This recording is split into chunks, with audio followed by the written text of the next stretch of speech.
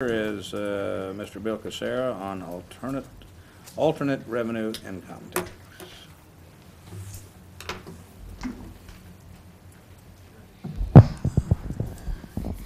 Yes. Good evening, uh, Mayor and members of uh, City Council.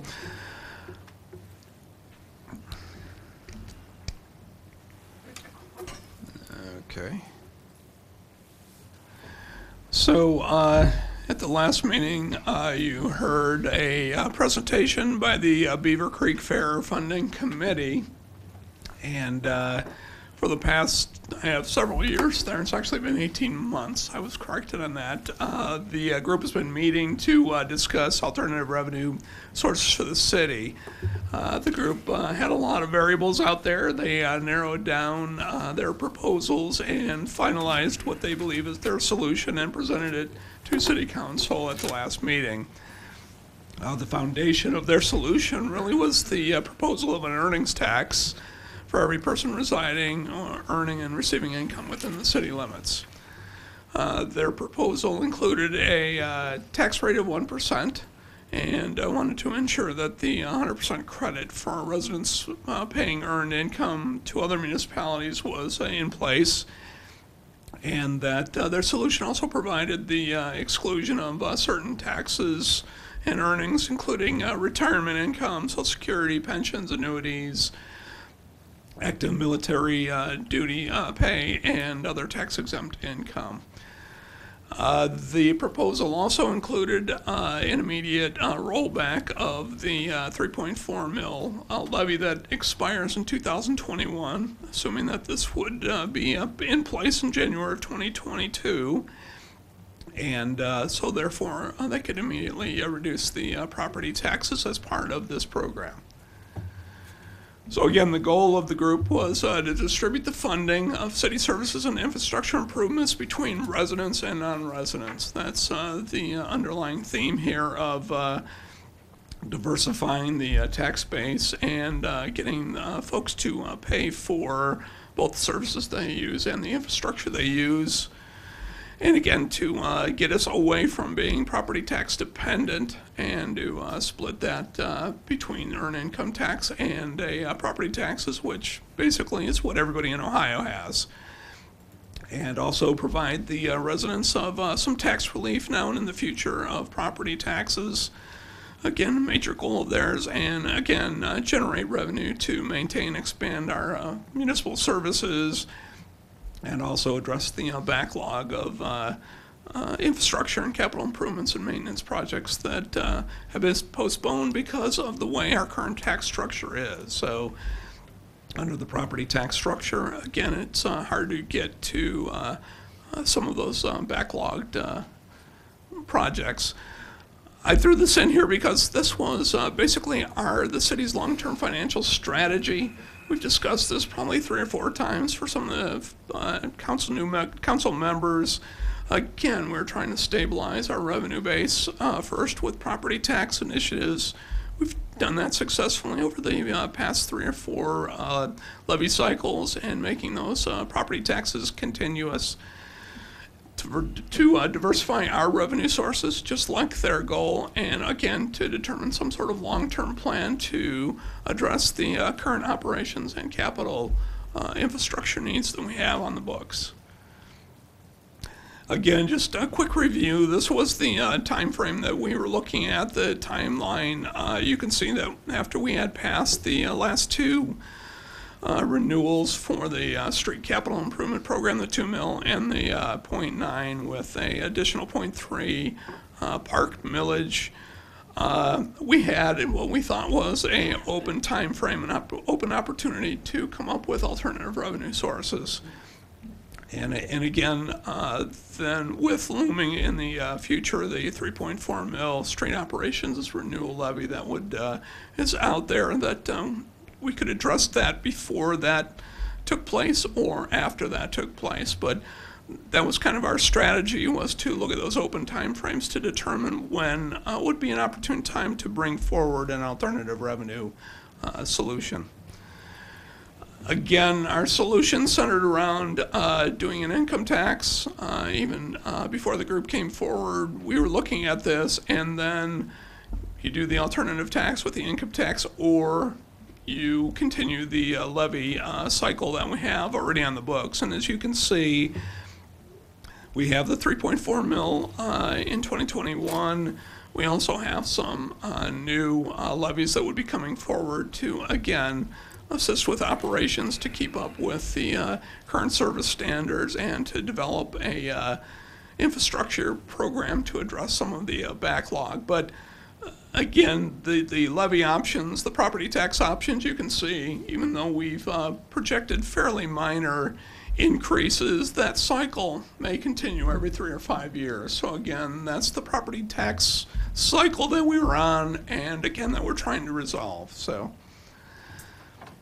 So the question came up was, is the uh, Beavercreek uh, Fair Funding Committee in line and uh, with the uh, city goals and objectives? And as you can see that uh, we've met with them several times and gone over their proposals.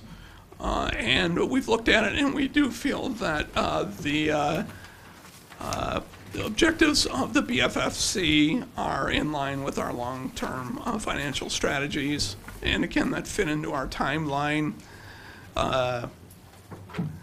We also feel that uh, the assumptions that they made uh, during their presentation and their solutions uh, were a fair representation of the resources that could be generated, and in particular, the savings that would be generated uh, through uh, elimination of of the property taxes, uh, when they expire and the future ones that you just saw on the past slide that will be coming down the road eventually.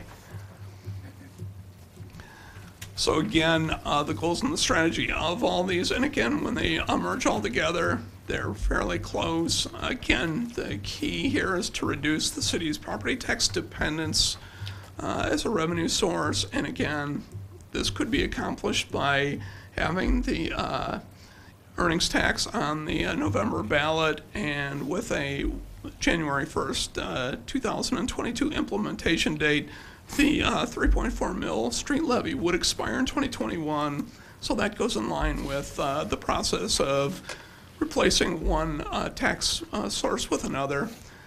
Uh, Again, the other key to this is reducing the future property tax initiatives. You saw from the list that there's four or five other property tax initiatives that will have to come forward if the alternative income tax doesn't come forward. And, and again, uh, we're, we're trying to uh, eliminate that uh, property tax and that uh, uh, hamster wheel that we've been on with property taxes to uh, eliminate our dependence on property taxes and, and come up with an alternative source.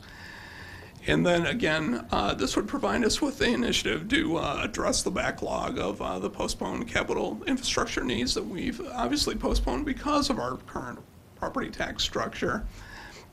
And then uh, relieve the burden of the residents paying 100% of the city operations and capital.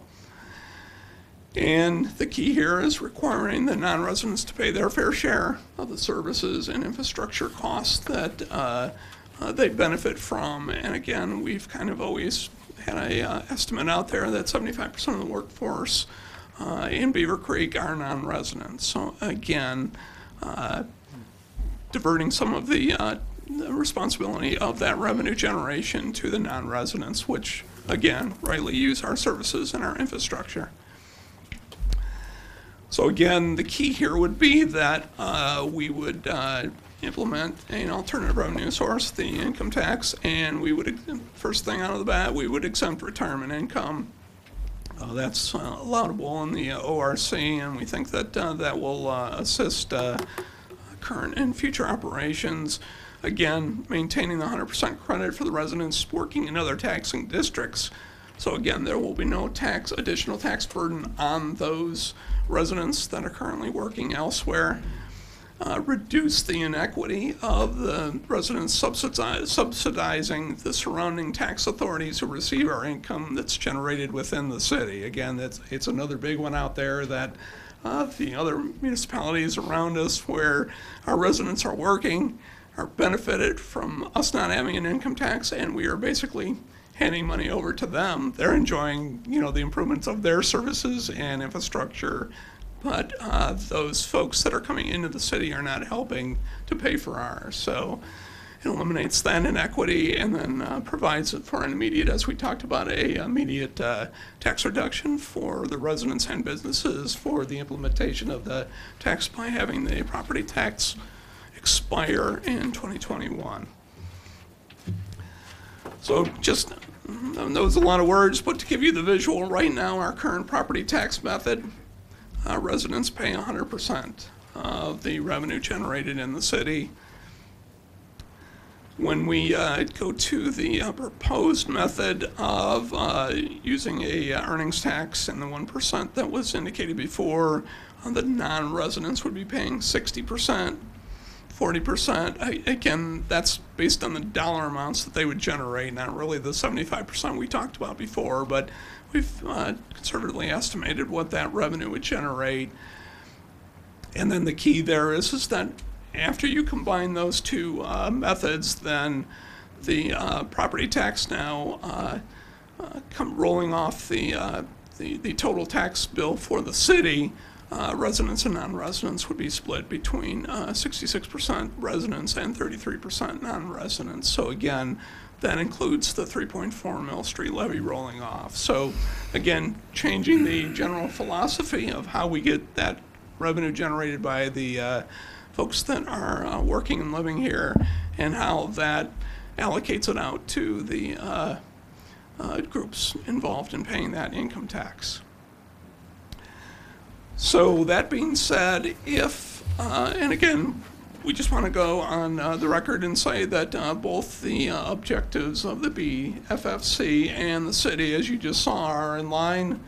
Uh, we believe that's a, uh good alternative proposal. We also believe that it fits within that time frame that we had for our strategic plan. And uh, if uh, that was the desire of council, here's a, uh proposed uh, timeline of getting that up and running to get it on the November ballot language to adopt the ordinance and again placing it on the ballot for November for the election of November, but implementation still proposed in uh, January of 2022. Okay, well, And I'd be happy to answer any questions you might have. all right, well, thank you. I only have one, Mr. Sarah, and that is that we had the presentation from the committee uh, at our last meeting, and it sounds like that you're on the same page with the committee? Yes, we believe that, uh, that uh, their strategy and their uh, solution to our alternative revenue is a good one and it fits within our financial strategy as a city. Okay, thank you. Anyone else? Uh, I would just like to thank you for the information you put together and to just remind citizens that this is, um, can be nuanced at times. Uh, I'm by no means a tax lawyer, so sometimes this is complicated for us as well as we discuss it. So when you do have questions, please reach out to City Hall and talk to us and ask the questions so that you can get the correct information as we're trying to put it out to everybody. I think it's important that going forward, we have a good understanding of what this really means, how this really affects our residents, how it affects our city. So if you do have questions, please feel free to reach out to us. We'd love to talk to you about this so that we can all kind of be on the same page and understand what's going on moving forward. So thank you again for the presentation. Thank you. Anyone? Thanks, Bill. Appreciate it. Thank you. All right, next on the agenda